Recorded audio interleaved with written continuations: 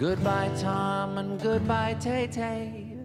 Don't worry about me, I'll be okay. As the world continues to mourn the end of Hiddleswift, Taylor Swift is just living up her newly found single status. Tom Hiddleston, uh, who? Taylor Swift is totally moving on from her short-lived relationship and she's doing it with her girls. Fresh off her breakup, Taylor was seen strutting her stuff in a hot black and white outfit out in New York on Wednesday night with her BFF Lily Aldridge. While the singer seemed to be in good spirits on her girls' night out after it was revealed that she broke off her very public relationship with Tom, friends of the actor are now claiming that it was actually the other way around.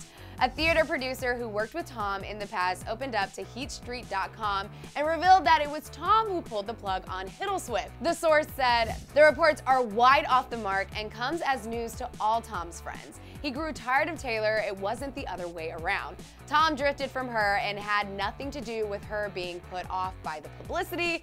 It's more to do with the fact that he's a commitment phobe who gets bored very easily. Talk about your classic case of he said, she said. The source went on to say that Tom's friends joke about the actor's three-month rule once the split was made public because according to them, that's usually how long Tom's relationships tend to last.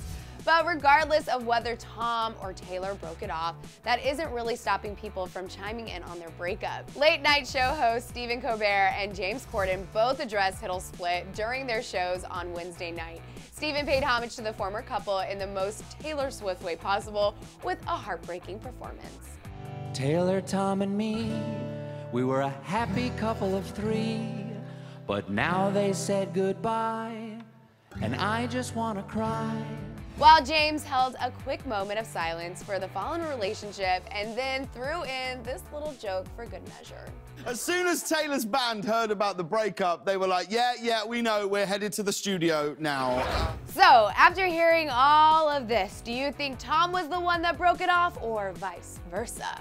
Let me know your thoughts in the comment section below, and when you're done with that, click right over here for 13 things that were cool 13 years ago on Throwback, and of course, you cannot forget to subscribe to Clevver News.